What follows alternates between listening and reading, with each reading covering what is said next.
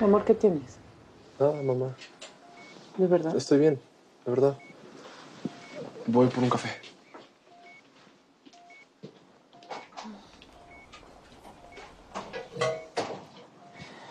Gaby.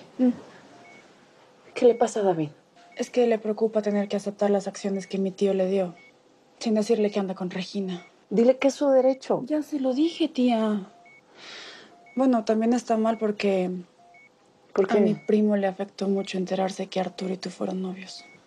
Sobre todo porque piensa que eso va a complicar más su relación con Regina. Tal vez lo mejor sería que esa relación se terminara. Porque aunque ahorita mi hijo sienta que es muy feliz, a la larga solamente les va a traer problemas y dolor. Doctor, ¿cómo sigue mi mamá?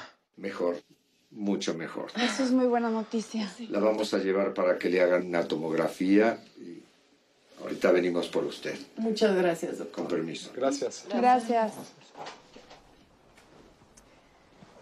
Ay, ay, ay, ay. Mi amor, no crees que soy necia, ¿eh? Pero me parece que deberías de aceptar las acciones que tu papá te quiere dar, ¿verdad? Sí, David, yo pienso igual que mi tía. En primer lugar, yo no estoy de acuerdo con muchas de las decisiones que mi papá toma.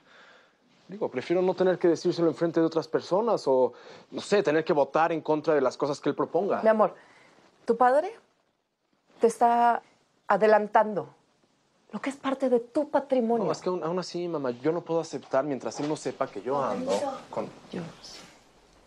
¿Lista para su estudio? Sí, señorita, gracias. Suerte, tía. Gracias. gracias. Suerte, Con permiso. Gracias, mi amor. Propio. Gracias.